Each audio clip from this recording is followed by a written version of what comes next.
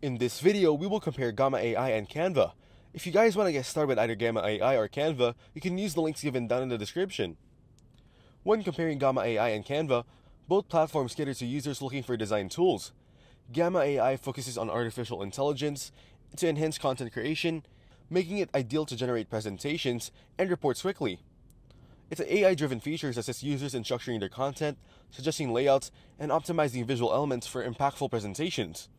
It offers the free plan at $0, the plus plan at $10 per month, and the pro plan at $20 per month. Canva is renowned for its extensive design capabilities and offers a wide range of templates for social media and marketing materials. With its user friendly interface and drag and drop functionality, Canva is accessible to users of all skill levels, enabling more creative flexibility. It offers the free plan at $0, the Canva Pro plan at $55 per month, and the Canva Teams plan at $50 per month. In my opinion, Gamma AI is better for AI powered document generation and analysis, while Canva excels in design and visual content creation. So that's the comparison between Gamma AI and Canva. Make sure to use the links given down in the description to get started with either Gamma AI or Canva. If this video was helpful, please consider leaving a like and subscribing to my channel. With that being said, I'll see you in the next video.